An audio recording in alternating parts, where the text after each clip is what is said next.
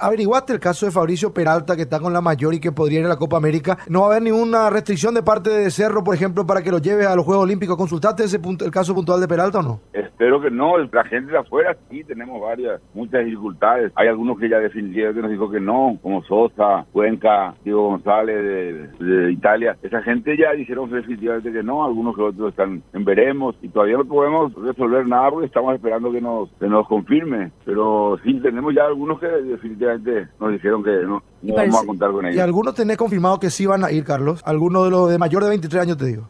No, no, no. Por eso digo, no tenemos nada. Tenemos aquí la gente, inclusive, que, jugó con nosotros, como los campeones. Diego Gómez, que jugó con nosotros, fue el goleador. Y tenemos la incertidumbre de si nos prestan o no. Eso, González, que jugó también. Y tenemos esa, esa duda todavía. Vamos a ver. Jugamos en el país donde estaban jugando argentinos y a Iván de no nos quisieron prestar para jugar esa Ese es el tema. Pero sí para los Juegos Olímpicos, profe, lo de Iván Leguizamón o San Lorenzo lo va a necesitar para la Copa Libertadores. San Lorenzo, y eso me dijo que San Lorenzo lo necesitaba y vamos a ver que nosotros no podemos exigir demasiado. Pero sí vamos a apelar a la buena voluntad de la gente. Pero te digo que jugamos dos partidos en, en, Argentina y no nos prestaron la gente que están jugando en Argentina. Tanto Cardoso como Gamarra nos, nos pidió de favor que, de que juguemos un partido con uno y otro partido con el otro. Entonces, y yo le metí a los dos en el segundo partido, entró un ratito los dos y, y recibimos una llamada de atención de, de Argentina Juniors. Nuestro partido tuvo la mejor disposición para estar con nosotros ahí cerca, prestándolo el campo para entrenar y todo eso. Yo pienso que él, él tiene la mejor disposición. Ojalá que, que así sea, se acepte la directiva del préstamo y, y cuéntemos también con él. Porque estuvo también Iván saludándonos ahí en el, porque trabajamos en el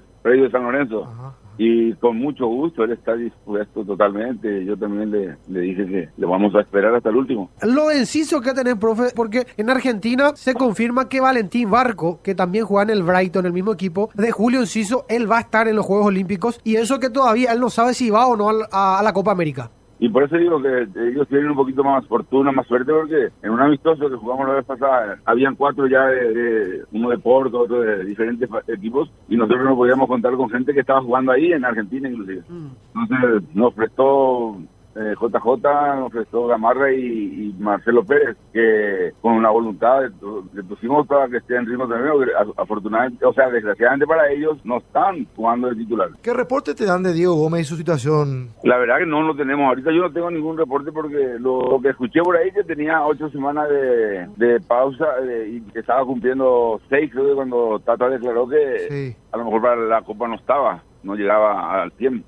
Entonces podríamos dejar, dejarle para, para, la, para la Olimpiada. Si le dejan para la Olimpiada, que bueno para nosotros. Carlos, ¿tu compromiso con la APF es hasta que terminen los Juegos Olímpicos? ¿Cómo es el trato que tenemos con la, con la asociación? Sí, hasta terminar y bueno, pero ya estamos, están ofreciendo coordinación y todo eso para las inferiores, me, me gusta mucho también y vamos a ver qué, qué hacemos. Pero yo quiero irme por paso, primero terminar todo esto y, y después ya nos sentamos a charlar. Ah, pero Elvio Pablo Rosso te ofreció un cargo de coordinador. Así, pero es un mensaje de Robert.